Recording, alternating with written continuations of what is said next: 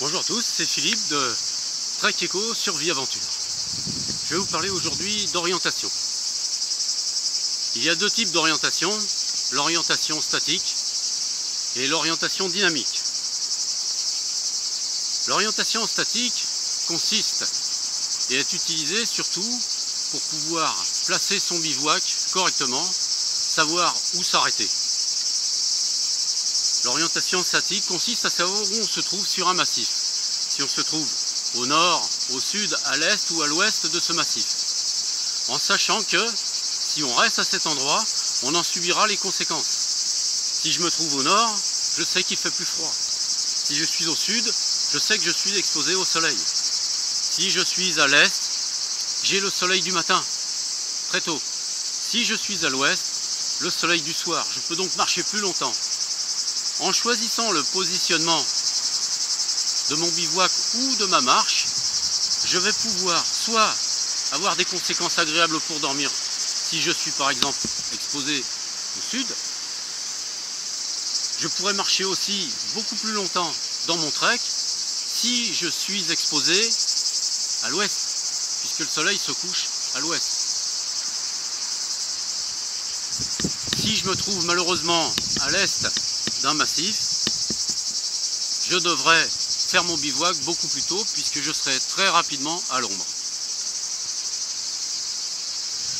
L'orientation dynamique consiste à se repérer dans un grand panorama.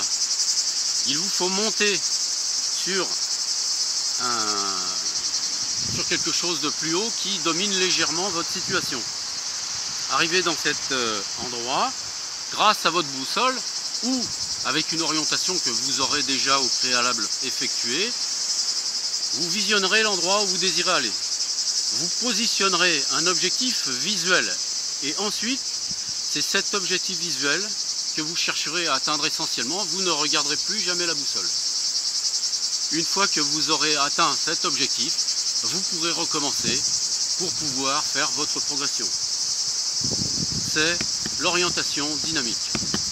Alors dans cette orientation dynamique, évidemment, vous devrez tenir compte de ce que je vous ai dit tout à l'heure. Si vous voulez marcher très longtemps le soir, il vous faudra essayer d'être exposé au soleil du soir, c'est-à-dire à, l'ouest. Si vous êtes à l'est, vous devrez vous arrêter beaucoup plus tôt. En ce qui concerne le bivouac, je vous conseille surtout de vous exposer au sud ou à l'ouest pour avoir une situation plus ou moins sèche. Ça permet à l'humidité de, s'être évaporée dans la journée.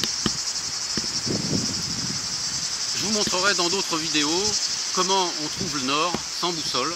Vous verrez, c'est très facile. Voilà, j'espère que ça vous sera utile. À vous de l'utiliser maintenant. Allez, bonne soirée à tous. Au revoir